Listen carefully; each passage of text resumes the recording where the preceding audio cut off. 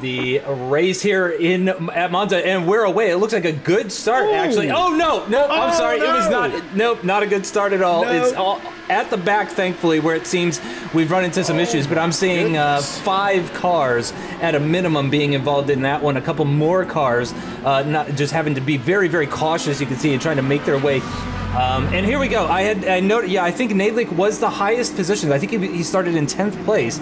Uh, oh no, the car ahead.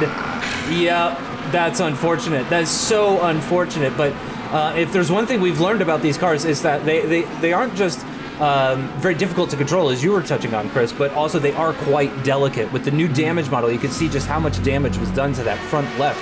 Oh, my, you say that? Rosowski has got a lot of company. Oh, my goodness me, the TP-Link car of Jan Seeker had nearly been slammed into there. That's Matuszek that's trying to make up for lost ground. Now, he had a qualifying ban uh, following an incident at the last race. That's why he was uh, having to start from the back. He's already up to 12th. That is uh, Thomas Horror for Big Shot. He's got that charging Matuszek uh, from Entropic. And here we go on board with the number 42 car. Going to now be in the top 10. Oh, this is going to be interesting.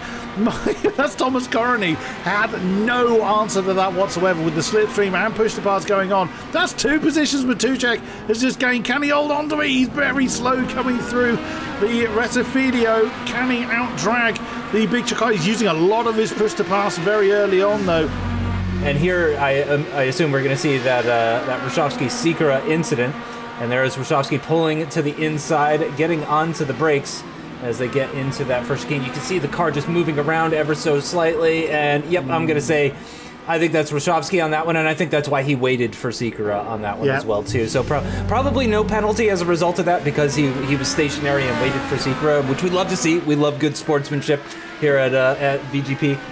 Well, is Podstata really starting to feel the pressure from Michael Lehman is if he's going to try and make a charge, he may have done a little bit early, but you know we'll see. Let's see what the lap times were last time around: 31.7, 31.3. So wasn't a drastically bad lap from Podstad. It was just a very good one. Ooh, always makes me wince when. Uh, aha! Here it is. Uh, what happened to you, Mister Pritchard? I'm not sure which one's older. I was going to say Pritchard Jr., but I don't know which one of the brothers is actually younger. Oh, wow, a big snap. So what's happened there is, is he's, he's had an oversteer moment, probably locked the brakes up uh, coming into Parabolica, and as he's gone to correct it, all the grip has happened, and that has seen the end of David Pachada's race. And there you can just see for yourself the look of disappointment. That's going to give the momentum to Corney. The shot car goes to the defensive line coming down into the Parabolica. Oh, is he going to try and outbrake him? Is he going to try and outbrake him coming into Parabolica, nicely done if you can do it. Would move, Thomas Corney. That unfortunately does leave you very open for a counter attack, but that was a great move. You don't often see an outside move around the entirety of Parabolica, and this is partly why, is because the straight is so long that uh, you are susceptible to a counter attack. Oh, oh, Thomas Horror. That must have been pixels apart. That must have been so close. Final breaking zone of the race. He can take it as easy as he likes and really hug that inside line. Yeah, not running out wide at all. We get the we get the finger point. We get the thumbs up. Podstata had a, a pretty much perfect race really on that one. So it's familiar names up front with Michael Lehman in the uh, mixture. Yet another masterclass from Lucas Podstata to take the win. Michael Lehman 2, Lucas Podstata 3, Michael Matuszek. I would certainly give him driver of the day for that incredible run from last up to finishing fourth.